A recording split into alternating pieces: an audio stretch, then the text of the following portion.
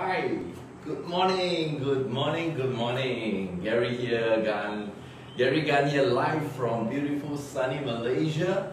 And uh, how are you guys doing on a beautiful Friday morning right here in Malaysia? Probably it's afternoon for you, evening or night for you, right? So today is a Friday, and what everybody is saying? TGIF. Thank goodness it's Friday. I hope you don't have to say this because I hope and I wish that every day is a Friday for you, every day is a Sunday, every day is holiday, every day is a great blessing. Alright, so guys, um, let me share with you today I am doing a live video to talk about a marketing and sales technique that I've learned many, many years ago from many successful people in the sales industry that has got me tremendous results and improving my selling ability. And today, this is exactly what I would like to share with you. Alright, see, many years ago, I was, uh, I, I was just like many, many people who just hated sales who just look at sales as a really, really low or, or, or something is so so disgusted. You know why? Because do you have you ever seen signages where you go to people's office? You know they put that uh, big sign there and says no salesman allowed. Uh, no selling allowed. You know, like as if they make selling, the profession of selling, like as if it's something so low, so dirty, so uh, so disgusted that people just push it away, right? Now, I grew up like that. I'm not sure about you. Give me a comment if you also grew up in this type of environment thinking like selling is no no. You know, there are some people who say it out loud like, you know, you know what, I'm not here to sell, I'm not here to, you know, uh, I'm not selling you anything. You know, they just want to hide behind that that comfortness of not wanting to sell. But actually there's nothing nothing wrong in selling. Alright, there's really, really nothing wrong. In fact, the funny thing about life is if you think about it, everybody loves to buy something. Okay? Do you realize that everybody wakes up and through the entire day until they go back to sleep at night, every the whole during the whole day, somehow there are thoughts of buying something. Do you agree with me? If you agree, just type on the comment and, and let me hear you out, right? So people think of what to buy. For example, what do I, what am I going to eat? You know, um, and if you go to that particular restaurant, you decided on that restaurant what menu you want to choose, what clothes I'm going to buy, what watches, cars, house, laptops, you know, um, phones, um, shoes, so many things out there and every day people are always thinking of what to buy. And every day whether you like it or not people are buying right? Every day the world is full of people buying things. So the point i'm trying to say is people love to buy. Unfortunately they don't like to be sold. So that's funny thing right? And if you really think about this how are people going to buy something if nobody is selling?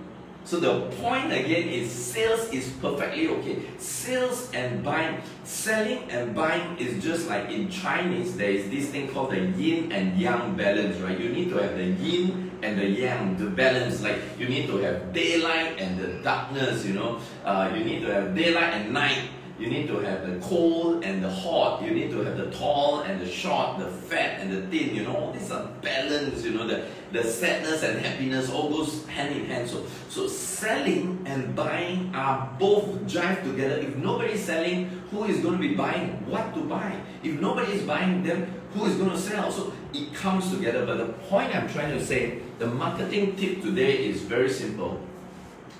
Is that people don't like to be sold how many of y'all are really cheesed off with people keep forcing things down your throat, you know? How many of y'all really just look at the phone and somebody calls you and immediately you don't want to answer or you block that person or you you know you just avoid the calls because you know that person is calling you because he wants to sell you something you know you you you felt like as if he wants to make money. He wants to literally take the money from you your hard-earned money you know you you sacrifice so much of your time your health your family to earn those money. And he's just there wanting to sell you something that probably you don't need or you, you, you perception wise you think that it is not something that you need right now and you just avoid that person or, or you walked into a supermarket all right you walk into any retail shops and, and you have these salespeople standing out there like you know uh, trying to, to, to get you to buy something. You, you, you don't like that right?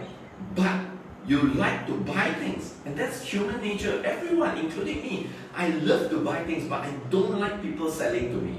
So the point I'm trying to say is, many years ago, I was in that same position in having difficulty to sell. And the reason was, my entire idea about selling was just pushing a product to somebody, taking that money, and I make my commission. It is always about me making my commission. It is about me getting my quota done because I've got a sales quota I need to meet every single month. It was me, me, and me. And then that one magical thing changed in my life was when I started to learn about the psychology of selling, about the psychology of the buyer. It is more about the buyer than me.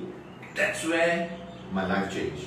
That's where my selling ability just skyrocketed up the roof, you know. It was like magic. Suddenly I'm able to sell anything under the sun. From, from a guy who could not sell anything, from a guy who literally nearly being caught by the police because I was harassing. You know, I've told this story many, many times, you know.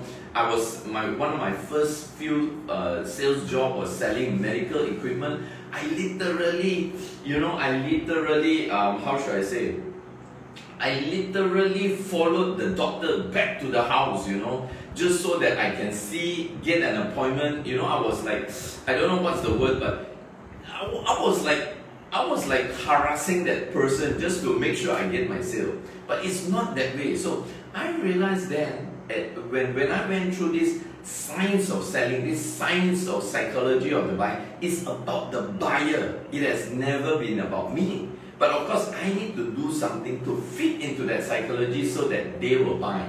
Can you imagine from somebody who cannot sell to today, a lot of people actually call me, oh, that guy, Gary, he can literally sell ice to Eskimo. Why do people tell me that? Is because, or why do people say um, things like that about me? Is because not only I can sell very well, but I can make the sales so smoothly that people want to buy more from me, from my team, you know. And then I realized that the actual principle about selling is about the buyer. You need to be buyer focused. And you need to always put yourself in the other person's shoe. What do you not like about salespeople? What do you not like when somebody is trying to sell you something? Now, if you don't like that, then you must always remember that same person doesn't like that from you if you are doing that. So we always commit that same mistake by doing something that we ourselves don't like. You remember the golden rule?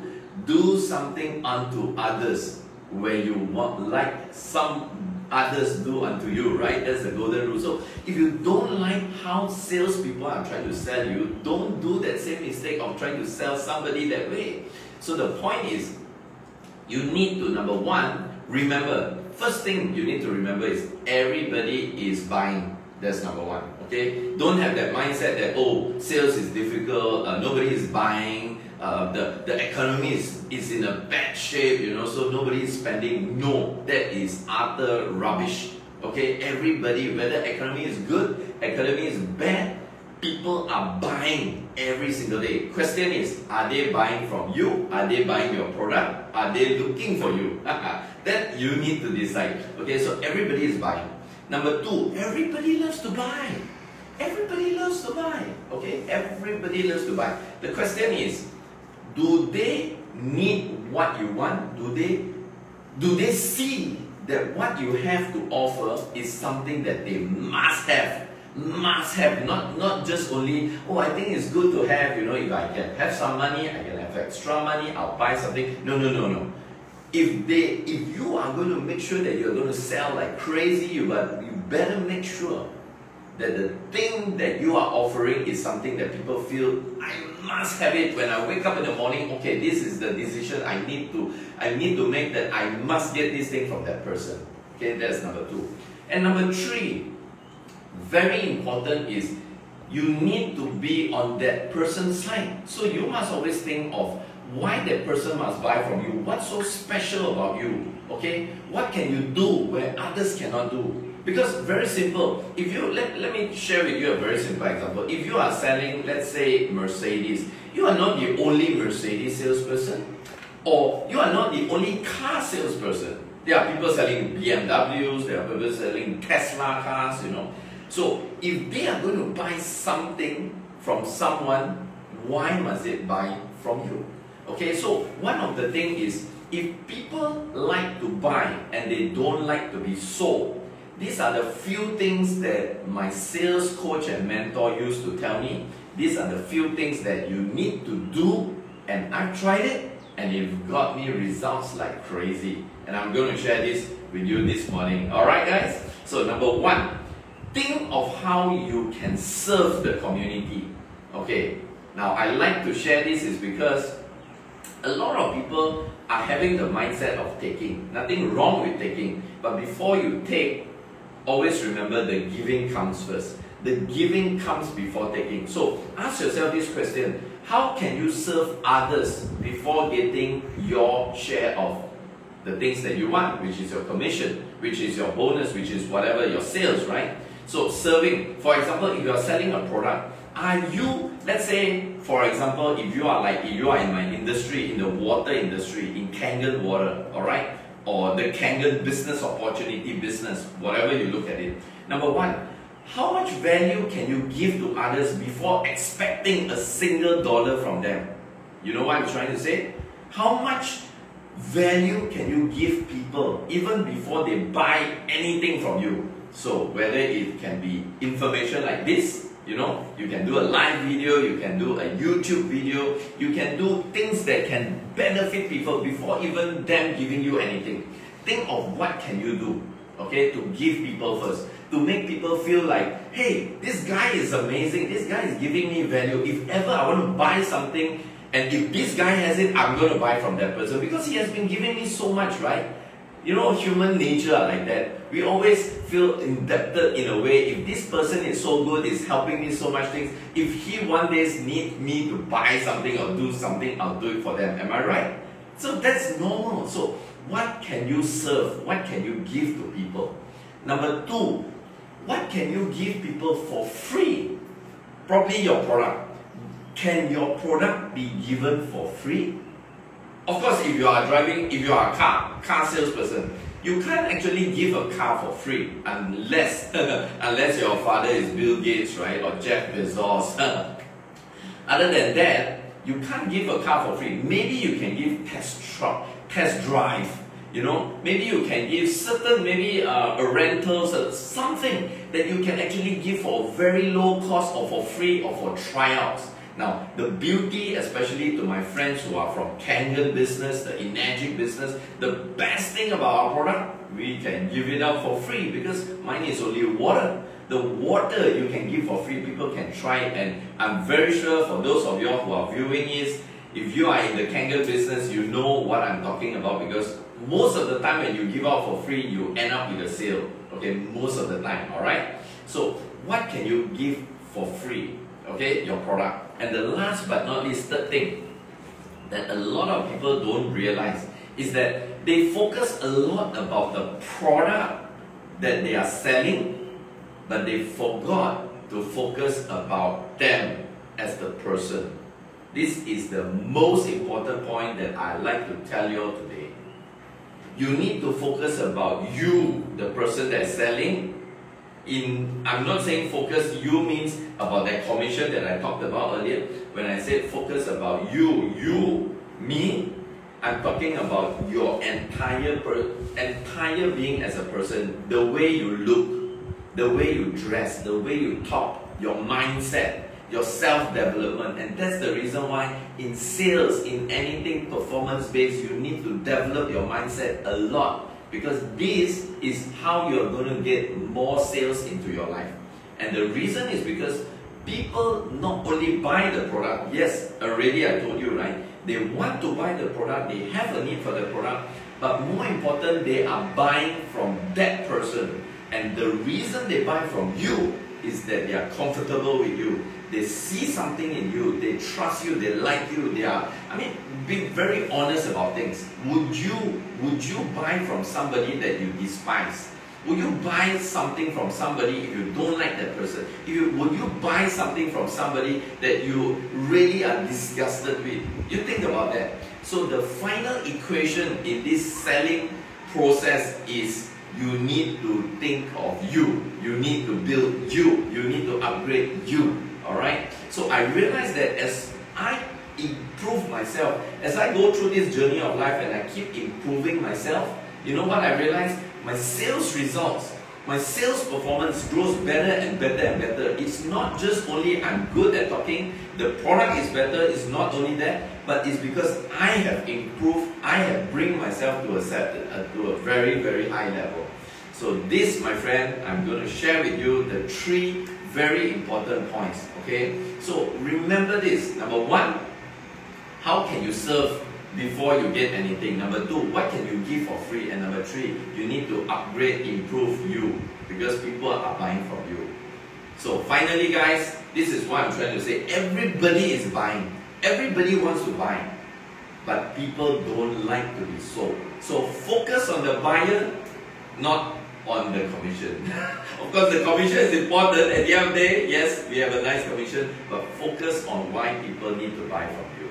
Alright, so guys, I hope today's session is an eye-opener if you are new to sales, if you are new to marketing, but this, this one information changed my life from somebody who cannot sell at all to somebody people refer to as the ability to sell ice to Eskimo. So guys, if you like this message, I strongly encourage you to click the share button so that this message can find itself out in the world and it can touch somebody's lives out there.